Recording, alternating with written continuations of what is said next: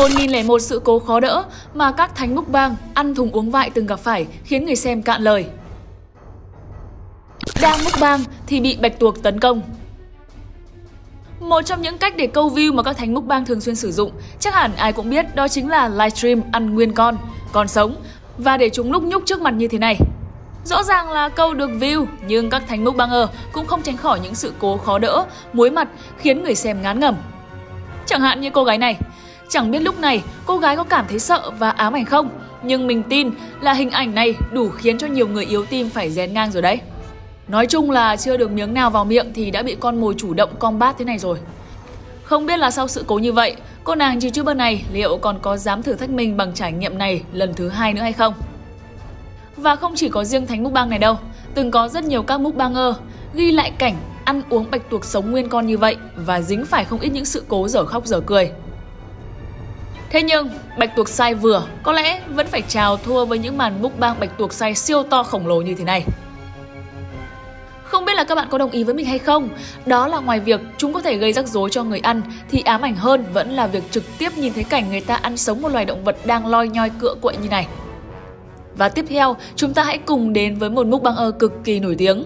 Anh chàng này cực giàu, thế nhưng những sự cố và hệ lụy liên quan đến sức khỏe chắc chắn sẽ khiến cho nhiều người xem ám ảnh. Béo phì nghiêm trọng, phải đeo ống thở trong khi ngủ. Các bạn nghĩ sao với một cơ thể hơn 300 kg? Thú thật thì với rất nhiều người, béo lên một chút xíu thôi là đã cảm thấy nặng nề mệt mỏi lắm rồi. Huống hồ đây còn là hơn 300 kg. Thật không dám tưởng tượng đúng không? Và quan trọng hơn, đó là những hệ lụy liên quan đến sức khỏe khi tiêu thụ quá nhiều đồ ăn, hàng chục nghìn calo cứ thế tích tụ sau mỗi màn múc bang siêu to khổng lồ. Và nhân vật mà chúng mình đang muốn nhắc tới chính là Nicholas Perry, chàng trai sinh năm 1992, là một trong những thánh mukbang nổi tiếng nhất thế giới. Được biết thì anh chàng này tham gia làm YouTube từ năm 2014, chuyên làm nội dung về một chàng trai sống lành mạnh healthy. Và rồi, anh vẫn cứ lác đác, chẳng mấy ai biết đến cho đến năm 2016, sau màn chia sẻ clip với tiêu đề Tại sao tôi không còn là một YouTuber thuần chay nữa?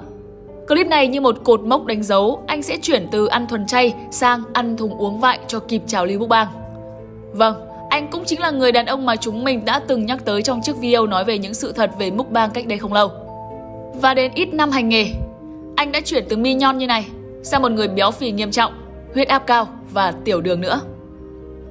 Nam YouTuber còn nhiều lần khiến cho người xem không tin nổi với những hành động mất kiểm soát của mình trong video.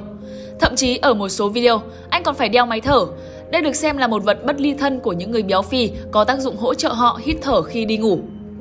Thế nhưng không phải nỗ lực nào mà không được đền đáp, sự bấn loạn về mặt cảm xúc, một cơ thể mà bước đi vài bước cũng đã đủ mệt và cả những hệ lụy sức khỏe thể chất anh đã phải chịu đựng, đã mang lại cho anh một khối tài sản cách xù, giúp anh chuyển đến sinh sống tại một căn penthouse hạng sang trị giá hàng triệu đô la tại Mỹ.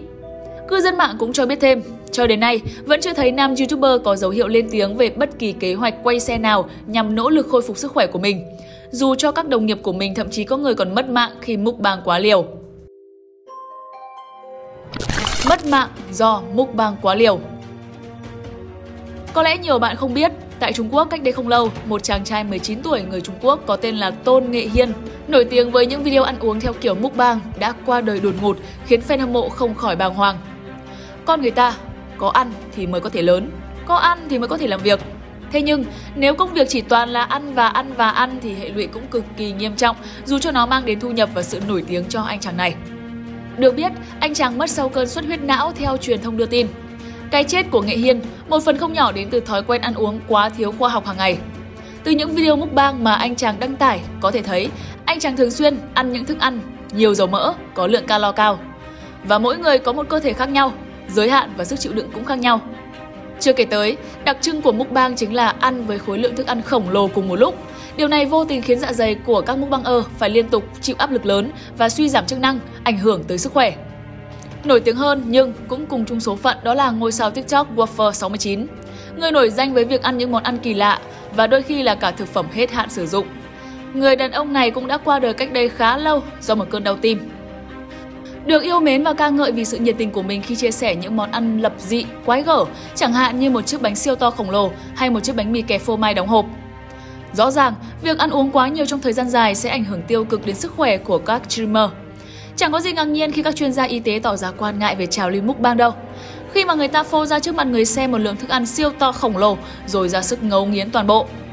Tuy nhiên, ăn tới mức nhập viện, thậm chí là vỡ răng ngay trên sóng trực tiếp như cô nàng Wang Tong Tong trong câu chuyện dưới đây thì quả thật là hiếm gặp.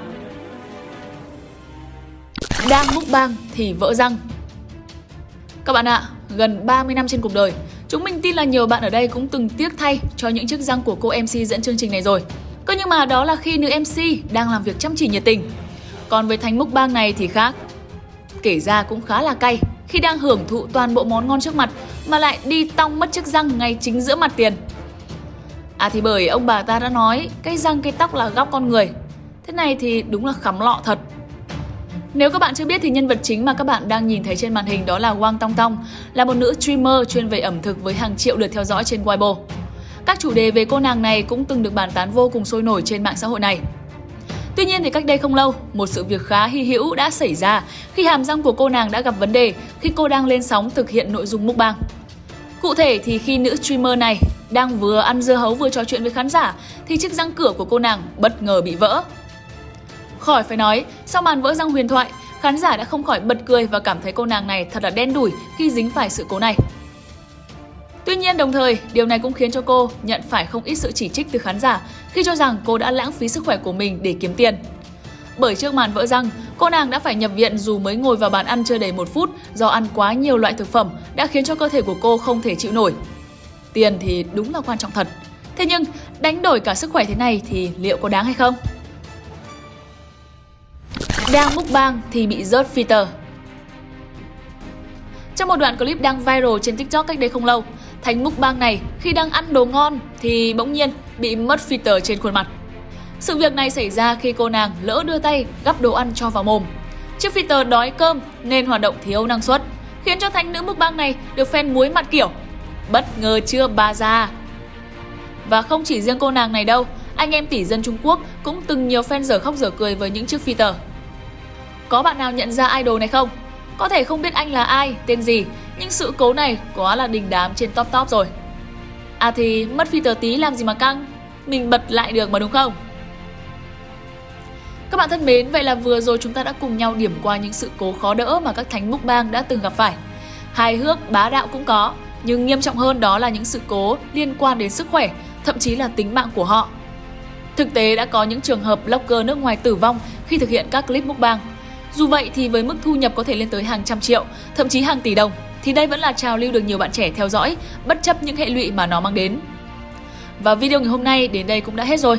Nếu như các bạn yêu thích chủ đề này thì đừng quên ủng hộ chúng mình bằng cách like, share video, sau đó đăng ký kênh Top 1 Khám phá và nhấn vào nút chuông thông báo nho nhỏ bên cạnh để luôn là người đầu tiên theo dõi những video mới nhất từ Top 1 chúng mình.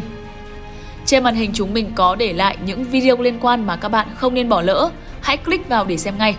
Còn bây giờ như thường lệ, xin chào và hẹn gặp lại!